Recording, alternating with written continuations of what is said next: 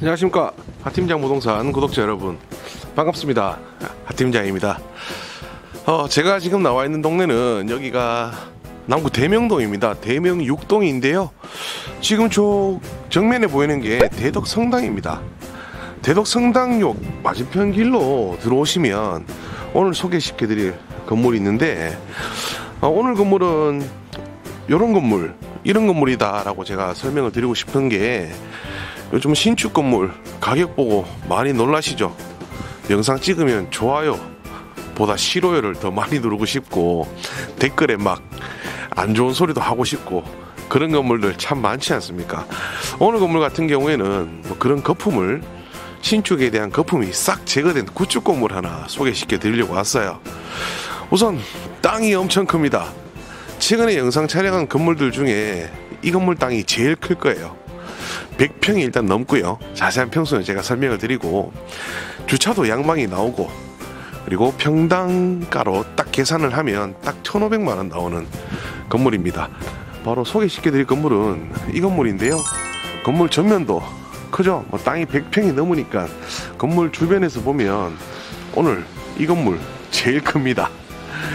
차지하고 있는 비중이 이 도로변, 이 6m 도로변에서 제일 크게 땅을 차지를 하고 있고요.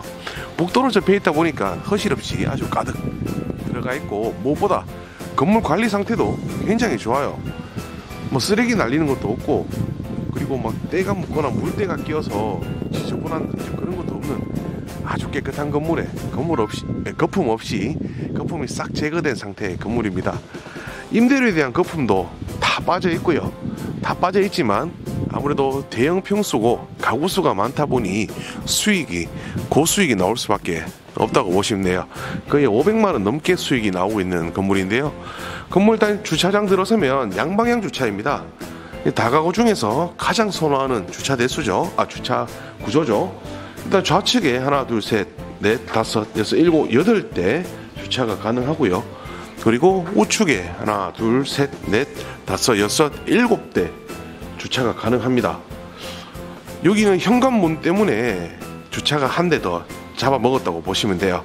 그래서 주차는 총 15대 주차가 가능하고요. 거의 1대1 주차가 가능하다고 보시면 될 것 같아요. 가구 수는 총 16가구 들어가 있습니다. 세입자 중뭐 모두 차를 가지고 다니질 않기 때문에 주차는 넉넉하게 하실 수 있다고 보시면 되고 아무래도 대명역도 충분히 걸어서 이용을 할 수 있는 위치이다 보니까 차 없이 다니시는 세입자분들도 덜어 있습니다. 자 그리고 여기가 남쪽 방향 남쪽 방향이죠. 보면 건물 저 위에 옥상부터 이 밑에 바닥까지 지금 그늘진 곳이 없습니다. 아주 채광을 한가득 받고 있는 건물이라고 보시면 되겠고요. 주인 세대라든지 쓰리룸 구조라든지 전부 다 앞산으로 남향을 하고 있는 구조라고 보시면 되겠고 일단 건물 내부로 들어가서 내부 구조 복도 한번 보여드리겠습니다. 자, 1층에 들어왔고요. 어, 뭐 바로 현관에서 열면은 바로 계단이 이어지는 그런 구조로 되어 있고 코로나 조심 오가면 손소독 하세요라고 써붙여 두셨고 아무래도 주인분이 직접 관리를 하시는 것 같아요. 건물 관리 업체에 맡기면 저렇게 문구를 써서 귀엽게 문구를 써서 붙여놓진 않거든요. 자, 가구 2층 배열은 하나, 둘, 셋, 넷, 다섯, 여섯 개, 여섯 개 구조로 되어 있는데 원룸, 투룸, 쓰리룸 다양하게 들어가 있습니다.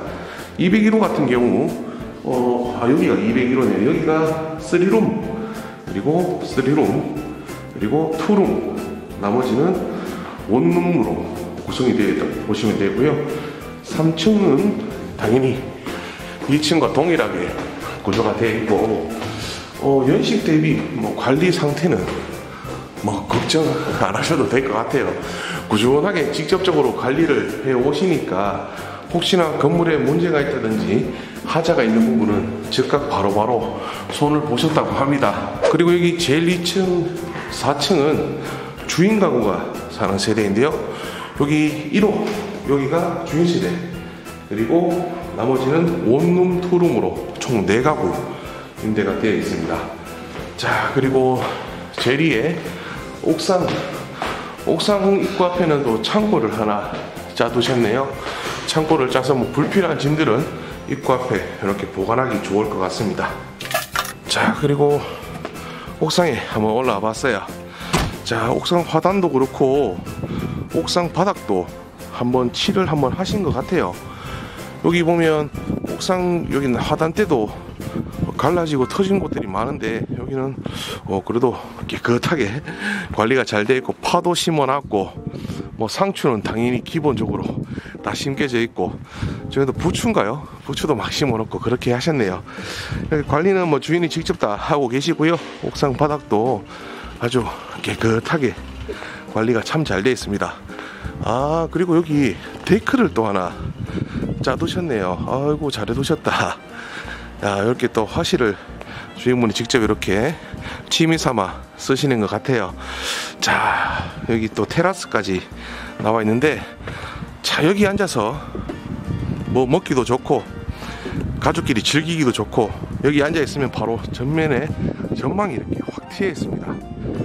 야 속 답답할 때 옥상에 올라와서 이렇게 먼산 바라보고 있으면 스트레스도 날아가고 마음이 편안해지지 않습니까?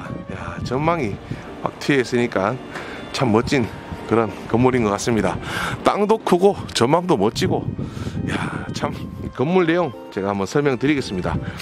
원룸 9개, 투룸 3개, 3룸 4가구, 주인 세대 총 16가구에 대지 397제곱미터, 건물 648제곱미터, 고평수 한산하면 대지가 120평, 건물은 196평입니다. 건축 연도는 2011년 6월에 준공이 났고요. 현재 매매가 18억 평당 딱 1,500 계산이 됩니다.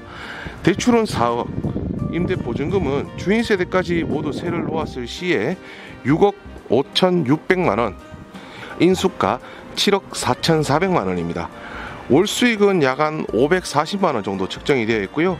은행 이자 제외하고 약 407만 원 남는 건물입니다. 수익률도 6%대 수익률이 나오는 건물이에요.